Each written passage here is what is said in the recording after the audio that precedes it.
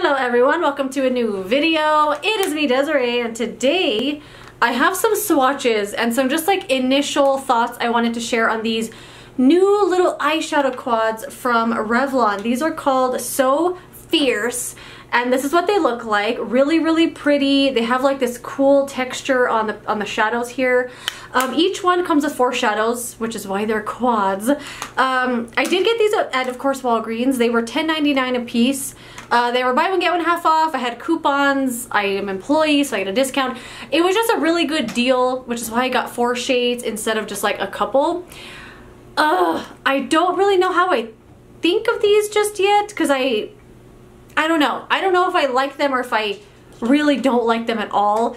Um, I've worn them several times, not every single shade of course, but I've tried each of these palettes so far and I, I don't know what I think about them. So far they're not better than the Looks Book palettes that Revlon has, you know those ones that have the tiny little pens. Those are leaps and bounds better than these so far, but I don't know what I think so far. So really I just wanted to share swatches and like initial thoughts as we go along. But yeah, here we go. This one is called Tantrum and each of these seems like it has only shimmers but upon further investigation, some of them do uh, look like they're matte, especially in a swatch. I think one of these shades is like an actual matte shade, but even that one, they do have some nice sheen to them, like they're not a flat, dry looking matte. Not that all mattes are dry or flat looking, but they all have some sort of sheen to them at the very least. But they all look, on first uh, glance, even like when I was looking at these in the display, they all looked metallic. Um, it does say they are rich, richly textured eyeshadows with creamy color and crystal shine. As far as the crystal shine goes, if you're getting ready in the morning like I am with the light shining right in your face, the shine, it looks freaking brilliant. Like they look so, so nice. But then once you turn the light off in your natural light, you see like they went on kind of patchy. It's not that pigmented. It's just the, the light like kind of um, blinds the, or camouflages like the, the weirdness of them. I can't put my words together. I don't know if I like these, that's all I'm saying. Okay, let's swatch. So they all have like this cool, like wavy look to them, and your finger kind of fits perfectly in each pan. So as far as the way the formula feels, they don't feel dry, they don't feel uh, chalky, they don't feel patchy, not that they could feel patchy, but you know, dry and chalky anyway. They don't swatch patchy, they actually swatch very nice. So there's the swatches of the one here called, what was it, Tantric. Um, this one, the or Tantrum, Tantric, Tantrum. Uh, this one here, the other day, I actually wore this as a highlight and this is a blush and I thought it was really pretty because when I swatched this the other day, it was a lot lighter of a swatch, but it looked like a nice highlight shade. It looked like I had eyeshadow on my face. It wasn't like the best looking highlight, but the, the pinky shade here was a really pretty glowy blush. I really liked it for that.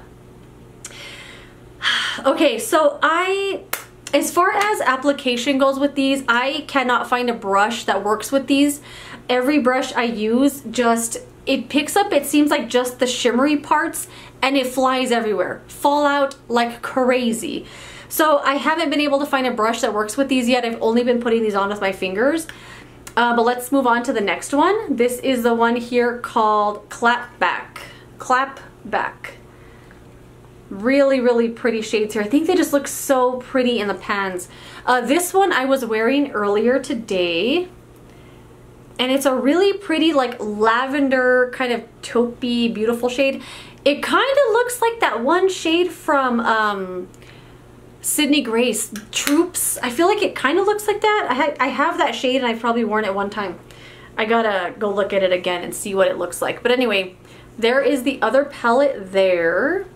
It swatches better than it performs because now that I'm swatching these I'm like dang these are really pretty. But I can't get them to look like this on my eyes and I don't know why that is. Um, they're just not like I said I can't find a brush that really picks them up nice enough to apply them to the lid also another thing I've noticed with these you must must must use a tacky base. Um, if you use concealer and then you like set it or you use a primer and then you like set it and you like to have like that dusty kind of, I don't know, not dusty, but you know when you set a primer because you want to help things blend, these are not going to work that way. I can only get these to stick with a sticky, tacky base. Um, so I like the KVD Shake Primer. I just like this in general, but it does leave a nice tacky base for these to go on.